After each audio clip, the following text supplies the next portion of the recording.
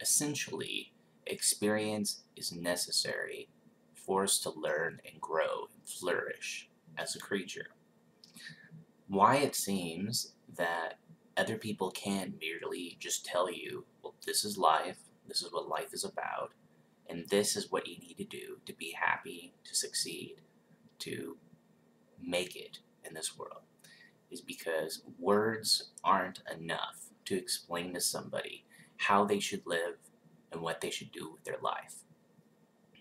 This is why we have experience. Experience is the best teacher. Experience is a part of nature. Nature, through experiences, is teaching you how you can live, ways you should live, and what is good for you.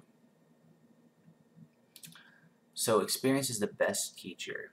It teaches you to protect yourself. It teaches you to take precaution. So we really need to look toward experience if we want to understand ourselves and then we want to understand what the world is about and how we can better flourish in society, in the world, and in our lives. That's why you need to not look towards ideology, uh, religion, or society for what to think. You should be trying to experience as much as you can. Go for direct experience is the term that Terence McKenna coined.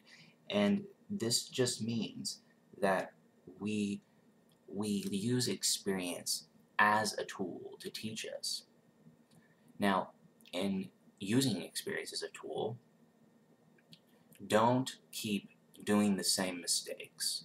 You need to be intuitive and analyze what's happening to you.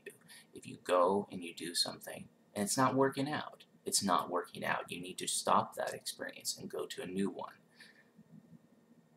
The mistake that people make, and this is crucial, is that they continue to repeat the same experiences without analyzing them continually and consecutively, committing the same mistakes and harming themselves over and over and over again. This is a pattern that needs to be broken. Now, human beings, we do like patterns. We do like um, normality. We do like things to be the same. But this, in terms of experience, is not acceptable. You can't live that way. It's it's uh, detrimental to you and then those around you. So you have to be intuitive to the experiences that you're having.